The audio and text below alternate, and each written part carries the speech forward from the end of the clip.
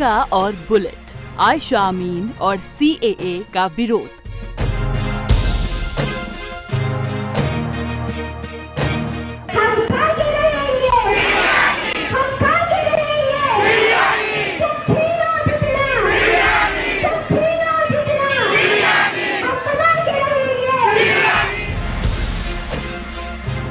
हम बात कर रहे हैं लखनऊ की रहने वाली आयशा अमीन की। लखनऊ की तरफ़ से अस्सलाम वालेकुम। नमस्ते और सत जो अपने समाज की तहजीब में रहकर बुलेट पर तैनात होकर घर से निकल चुकी हैं।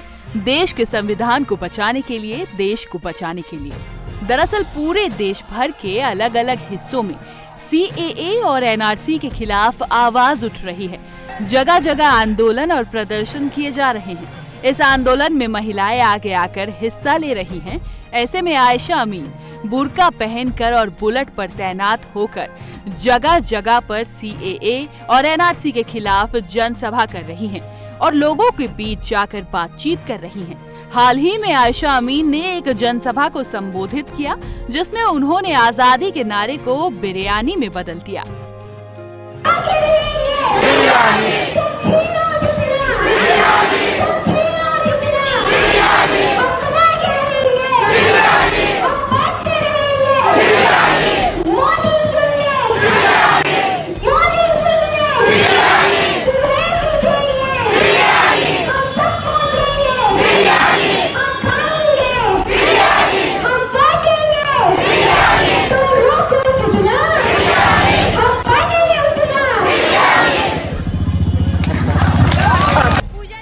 आपको बता दें, लखनऊ के राजाजीपुरम की आयशा बिल्डिंग मटेरियल का कारोबार करने वाले मोहम्मद अमीन और आसिया की पाँच संतानों में से एक है।